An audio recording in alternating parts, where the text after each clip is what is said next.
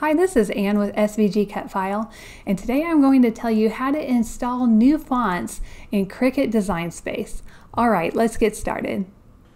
Okay, now first I'm going to download the uh, font file that I want to get into Cricut Design Space. And I don't know how long this one will last for free, but um, get it if you can. so we'll download. And if you're on Chrome, it'll go right over here and you can just click this little arrow and do show in Finder. And this is a zip file, so we have to expand it.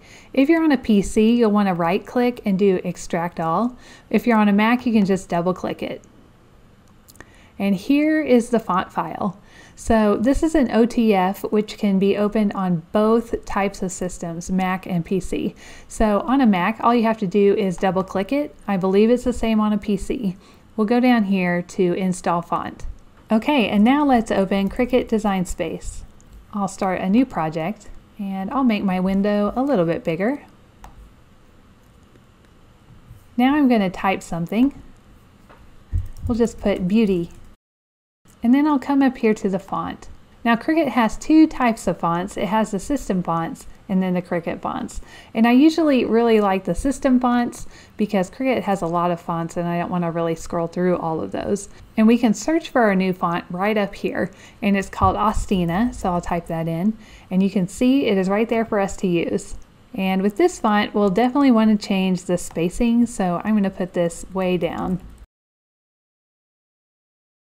And of course, we would have to uh, change the spacing between these two letters and probably these two letters too.